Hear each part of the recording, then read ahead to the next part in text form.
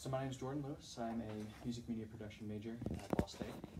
Uh, so my project is I would really like to show between a completely analog recording and a completely digital recording with similar settings and similar gear that can be emulated.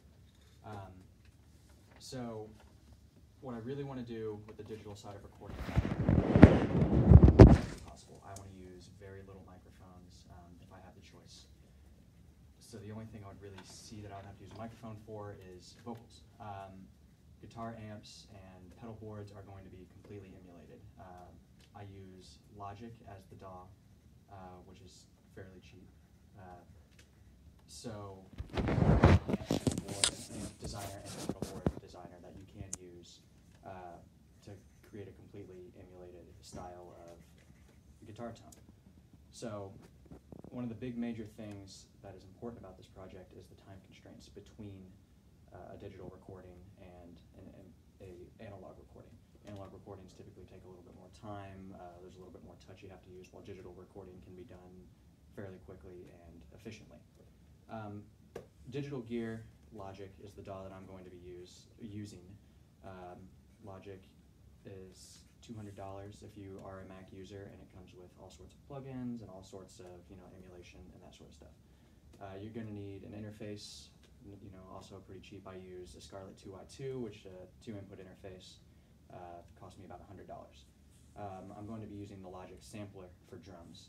Uh, the sampling is going to be, that, that's also a part of Logic. Uh, I, I am choosing to sample the actual drum kit so I can get the sounds as close as possible rather than you, using a pre-recorded sample.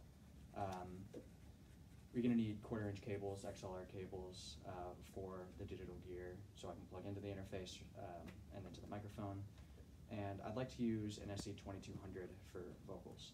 Uh, it's not as cheap as it gets, but it's a $400 microphone if you get the nicest one. So again, the price constraints are you know fairly limited for that.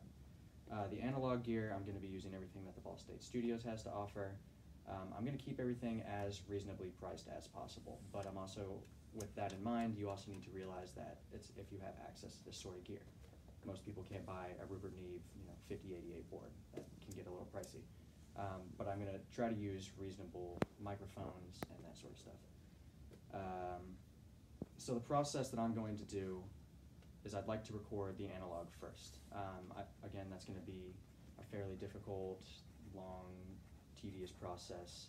Um, and once I get an analog sound, you know, with micro, with amps that I have and all the microphones that I can use, then I can go into Logic and emulate those as close as I possibly can. Um, I'd like to have a website that has two different columns on each side, you know, digital versus analog. Um, on the digital side, what's really important on that is it's going to be uh, how much time it really took. With the digital recording, obviously it's going to take a little bit less time. So in the end, with you know cost constraints and that sort of stuff, if you're hiring a producer like myself, it's going to cost you a lot less money. Um, but on the analog side, you know, it's going to be kind of the same general idea. Uh, so and then on each side, another thing is going to be, you know, a, a price table of how expensive everything was, uh, including, you know, my laptop, which can be pricey, uh, Logic, which will be pricey, the microphones, the cables, I mean, everything start to finish. Um, on the analog side, I'd like to, I'm not going to have everything. It's, again, going to be with the assumption that you have access to high-class gear.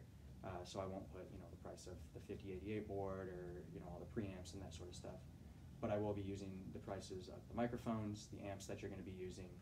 Um, cables are going to be all involved with that.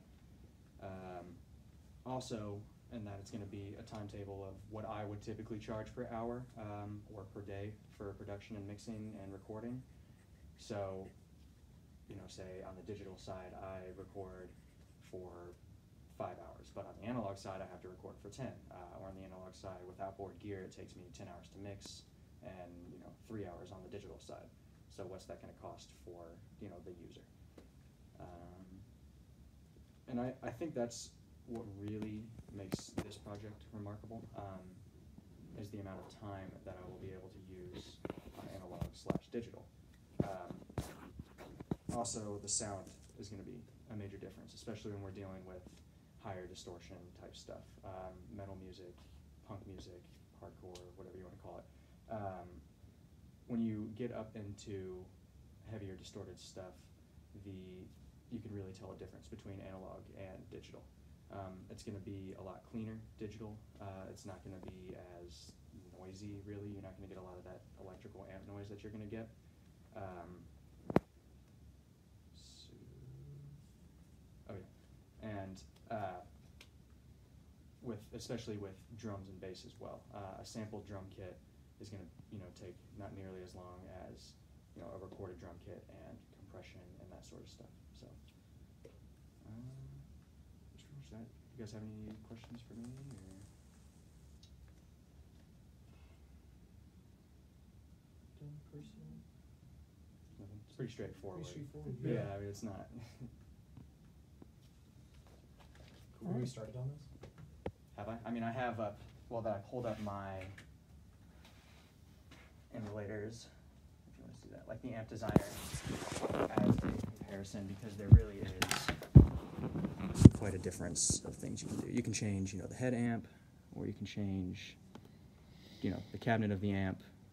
Change the microphone between a dynamic, uh, which or ribbon, which is like an R121, dynamic, which is 57, and then the condenser, which is like a U87.